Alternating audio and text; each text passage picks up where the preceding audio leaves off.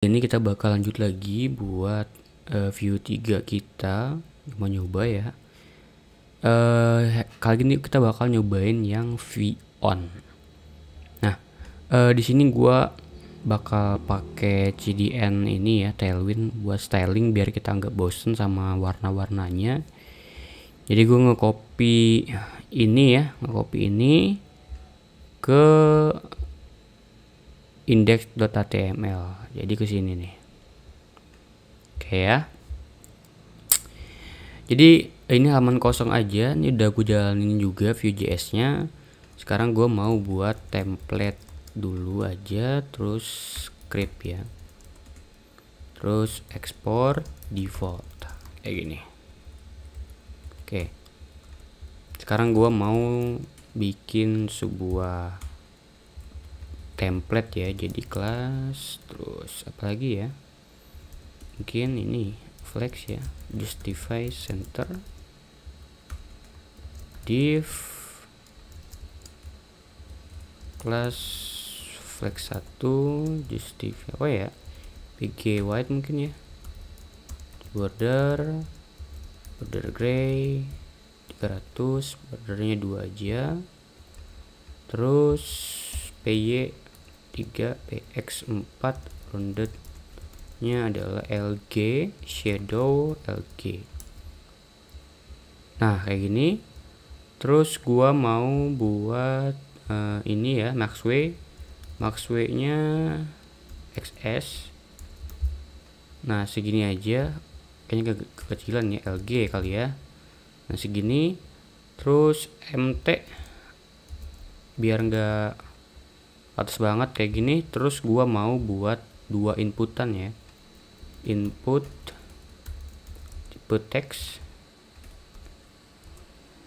terus kelasnya ada pj2 px nya 2 terus bg nya biasa aja white ya border 2 border gray 300 terus rounded nya md kayak gini mungkin oke. Okay.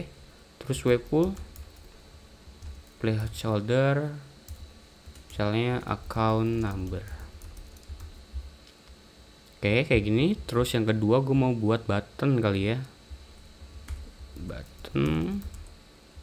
Kelas py2 px nya mungkin 4 kali ya. Rounded md terus hmm, bg mungkin ya. Bg nya kita kasih gray aja dengan 400 teksnya white.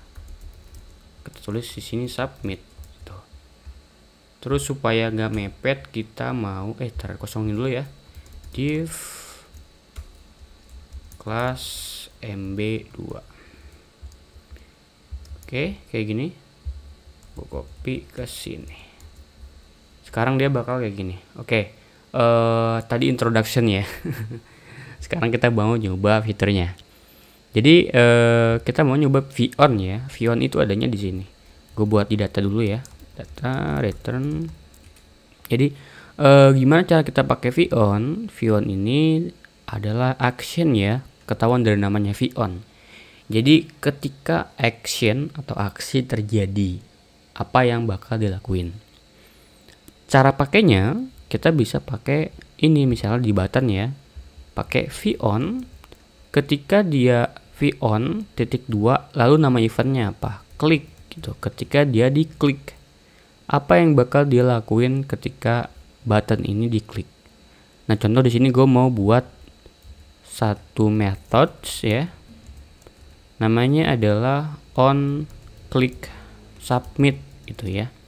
Ini bebas aja namanya cuman usahakan namanya merepresentasikan sebuah action ya jadi di sini gue mau kalau dia diklik, gue bakal nampilin sebuah alert. Hey, lu ngeklik ngeklik submit gitu ya. Jadi sekarang tinggal tambahin aja di sini on klik submit. Oke. Nah, sekarang kalau kita coba balik ke sini, gue klik submit, Nah, dia bakal muncul, "Hey, lu klik submit." Gitu. Nah, uh, ini tanpa parameter, gimana kalau misalnya ini ada parameternya name gitu jadi di sini uh, gue tambahin hey gitu terus plus name plus gitu hey yang ada di sini parameter lu klik submit jadi di sini kita bisa panggil aja pakai kurung ya. Namanya apa di sini? Rent misalnya. Cara ini nggak boleh ya pakai cek dua pakai petik satu aja rent gitu. Jadi sekarang kalau gue coba klik nah hey rent lu klik submit itu oke okay ya. Jadi itu untuk uh, parameter di dalam sebuah method atau ini ya action ya. Nah, uh, di sini juga kita bisa ngelakuin prevent. Oke, bentar cara yang lain dulu deh. Misalnya contoh lagi adalah gua mau ketika ini diklik submit garis ini berubah warnanya jadi hijau. Nah, ini menarik nih. Dan ini juga batannya bakal berubah jadi hijau warnanya. Jadi di sini gue mau buat satu data misalnya is submitted gitu. False. Defaultnya false. Jadi di sini gue mau buat sebuah kondisi kelas gitu. Kalau dia is submit submitted gitu is submittednya true maka gua mau pakai hmm, ini border gray-nya border gray border gray adalah eh bukan ya border gray. Border green aja ya. Jadi ketika dia submit maka border green kita bakal berubah warnanya jadi hijau gitu. Tapi kalau belum ya udah kita pakai border gray yang ini. Ya gitu. Oke. Nah sekarang ketika dia klik submit kita ganti this is submit jadi true. Nah, sekarang kalau kita coba balik ke browser kita, kita klik submit. Nah, oke. Okay. Nah, berubah ya warnanya jadi hijau ya. Oke. Okay. Ini jadi menarik nih kayak gini. Oke. Okay. Uh, eh, kita juga mau misalnya ini juga sama nih warnanya berubah jadi warna hijau submitnya gitu ya. Berarti sama aja kayak yang atasnya ya. Gak ada bedanya nih kita ubah aja ininya misalnya jadi BG nya green gitu ya jadi green. 400 kalau misalnya enggak berarti backgroundnya tetap gray. Sekarang kalau kita balik ke sini kita klik. Oke. Okay. kita refresh dulu aja. Kita klik. Oke. Okay. nah dia berubah warnanya ya semuanya. Nah itu untuk view on klik. Nah uh, eh, gue mau misalnya ini dijadiin sebuah form gitu. Jadi form ya ini form gitu form. Terus ini juga form gue taruh di bawah aja. Terus ini kayak gini. Oke. Terus ini gue mau hapus aja ya. Ini juga mau gue hapus jadi di sini tipenya submit. Nah, gue mau ketika ini diklik, maka form ini akan disubmit. Gitu. Kita nggak ngelakuin di dalam button, tapi kita ngelakuin di dalam sebuah form. Jadi ini kita boleh hapus aja, kita buat satu metode baru on submit form. Gitu. Alert, hello, form submitted. Nah sekarang kita make tinggal sama ya, tinggal pakai v on titik dua eventnya apa? Submit. Kalau dia submit ngapain? On submit form nah sekarang kalau kita coba buka browsernya kita coba refresh ya. Kita submit tek gitu. Hello form submitted. Oke. Okay. nah Masalah sekarang ketika kita klik submit ini dia bakal nge-refresh datanya. Nah, nge-refresh kan ya. Kenapa ini terjadi? Karena kita nggak ngasih tahu actionnya ke mana. Itu dia juga bakal nge-submit data gitu. Nah, kita bisa ngelakuin namanya prevent default. Kita bakal nge-prevent defaultnya dia secara default action ini form ini bakal ngapain.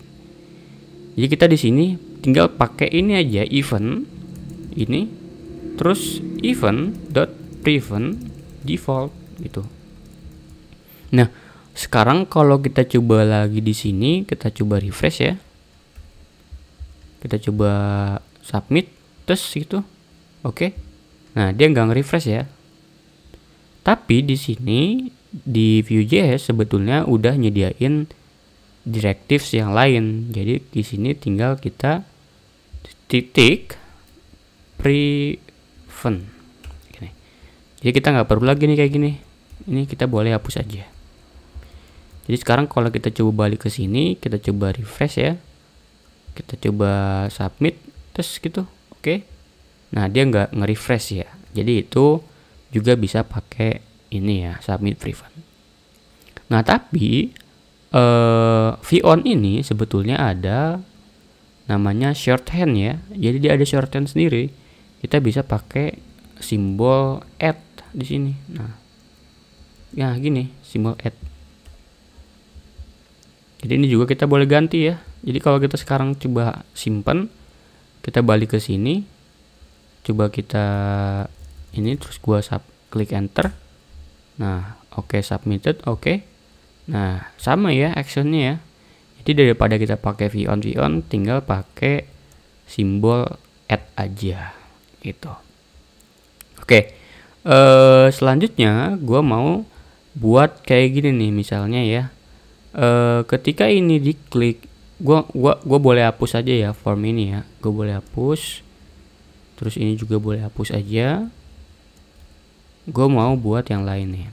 Oke ini boleh hapus. Kita action yang terakhir. Namanya count number terus gue boleh gini aja ya. Terus ini gue jadiin v model. Account number. Nah gue mau ketika gue nulis di sini terus gue klik enter gitu misalnya gue mau e, ngirim data misalnya. Tapi di sini sederhananya gue mau cuman ngekonsol atau mungkin ke alert aja kali ya kon apa yang kita input di sini. Jadi di sini kita bisa pakai yang namanya v on key up ini. Lalu di sini nama metodenya adalah misalnya on key enter. Jadi key up titik enter enter gitu. Tinggal kita kasih tahu dia arahnya ke mana. On key enter jadi gue misal alert aja nih alert anda apa nomor account itu plus account number. Yang ada di sini ya ini account number ini. Jadi sekarang kalau gue coba di sini lagi gue refresh ya dar gue misalnya masukin account number nih ya gue coba klik enter.